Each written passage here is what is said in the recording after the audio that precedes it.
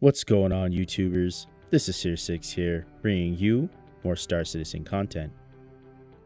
Today I start another series within my channel called Tidbits, which is where I give you, the Star Citizen backer, useful information to assist you within the verse.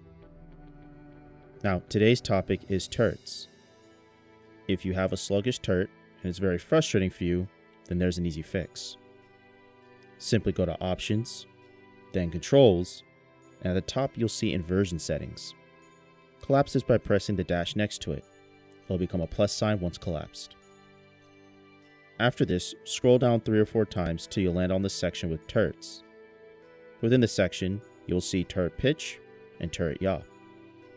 Bring up the sensitivity to 3.0 and you are set.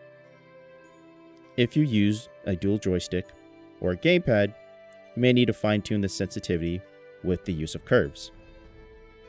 If you have a DPI setting on your mouse, you can choose a DPI setting that will further improve your turret experience. Now, with every patch, they recommend us to delete our user files. Remember that if you choose to delete your user file, you'll need to redo this every time. So, take a screenshot of your curves so you won't have to play around for it with an hour to get a similar feel. Now once in a turret, you can change the gyro settings.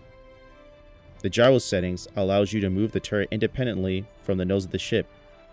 You can either turn it on if you and the pilot are soloing one person, or turn it off so even when the pilot turns the nose a different way, your turret will not slew to the same direction. You can also change your firing mode if you want. When in a turret, you can lock a friendly target, which is green, by clicking U or uniform, which is on the keyboard. For hostiles, click T or Tango, and to cycle through hostile targets plus R or Romeo. If the overall video was helpful, feel free to like, subscribe, share it, and tell others about my channel. But with that being said, I'll see you on the flip side.